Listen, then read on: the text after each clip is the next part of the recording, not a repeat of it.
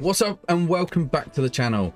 Just going to give you guys just a quick little update on what's happening and what's been progressing. So with the 30 second short videos that I've been doing, unfortunately I've run out of those. They are just my old Xbox ones that I've collected over the years and unfortunately that's all I recorded.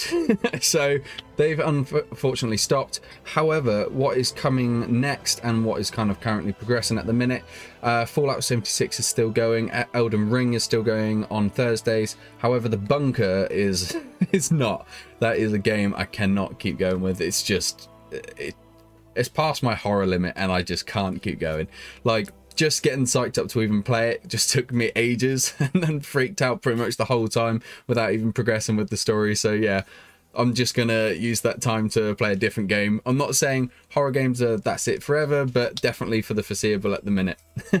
so what's gonna replace it is hopefully Ghost of Tsushima um, for Saturdays. And then, as you can probably hear in the background, Helldivers 2 is definitely on the cards and is in the works. I'm just trying to work out when I can fit it in because obviously I've only got a certain amount of time that I can record and edit and produce videos. So maybe I can uh, lap it with Fallout. So when I finish the Fallout games, um, it can then just kind of take over with that. But I'll see what works and I'll uh, keep you guys updated on the next one. But yeah, cheers guys. See you soon.